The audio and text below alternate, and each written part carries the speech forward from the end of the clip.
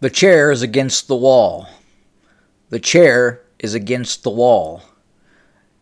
John has a long mustache. John has a long mustache. A long last name is Amanchukwu. It means I know God. And I'm glad to say that I do. I'm here today to talk about uh, this book here. My name is John Amanchukwu, as I stated earlier.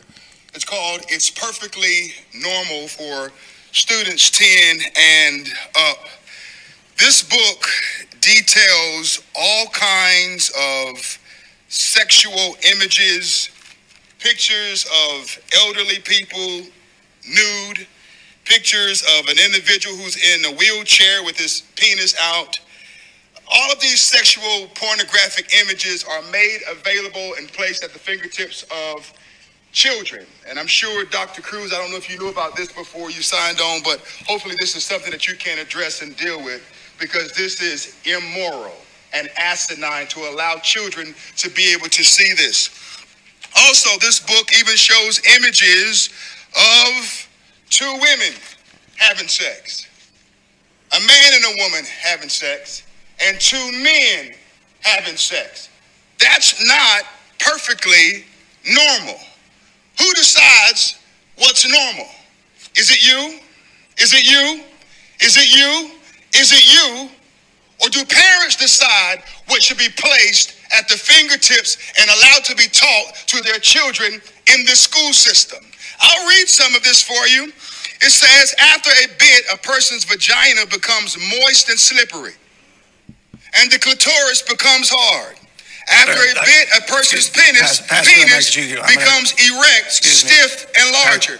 Pastor. Sometimes a bit of clear Pastor. fluid that may contain Pastor. sperm comes out of the tip of the penis and makes Pastor. it wet. Can we, sir, I'm sorry. I, Is there, uh, I, was it something I said? Was it something I said?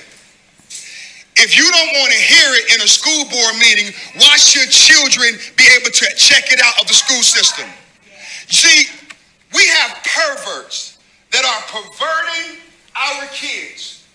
And you all sit back smug in your chairs and celebrate diversity, equity, and inclusion, but you don't want me to read it so you can hear it. Why? Does it bother you? Yes or no?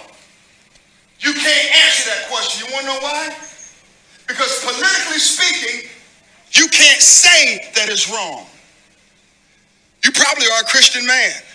But many Christians today have become more Democrat than Christian. Some Republicans have become more Republican than Christian.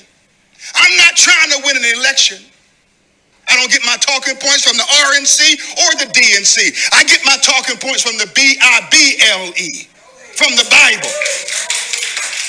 And you don't want me to read tell me to stop reading it? If you don't want to hear it, why should the children have to see it?